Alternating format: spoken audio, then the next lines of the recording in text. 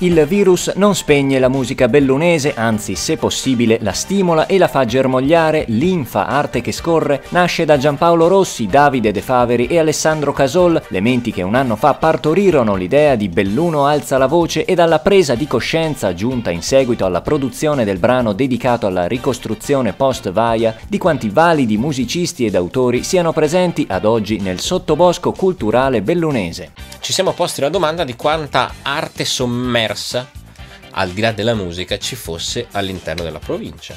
Quindi finita l'esperienza di Alziamo la voce, cioè finita la raccolta fondi, eh, avevamo in mano un importante mezzo di condivisione che ci dispiaceva un po' abbandonare. Ci siamo seduti a tavolino, nel vero senso della parola, eh, abbiamo deciso che il modo migliore di utilizzare eh, questi canali fosse quello di promuovere l'arte sul territorio. Per presentare in maniera concreta il progetto, cinque musicisti hanno dato sfogo al proprio talento tra i boschi di Valmorel a Limana, producendo alcuni video che verranno pubblicati nelle prossime settimane. A questi si aggiungeranno via via altri contributi provenienti dai numerosi artisti della provincia. Lo scopo di tutto ciò promuovere l'arte bellunese e creare connessioni che nel settore dell'intrattenimento sono quanto mai vitali. Purtroppo da molto tempo c'è una gravissima e fortissima mancanza di luoghi, di luoghi musicali, di scambio e di confronto anche. L'obiettivo di Linfa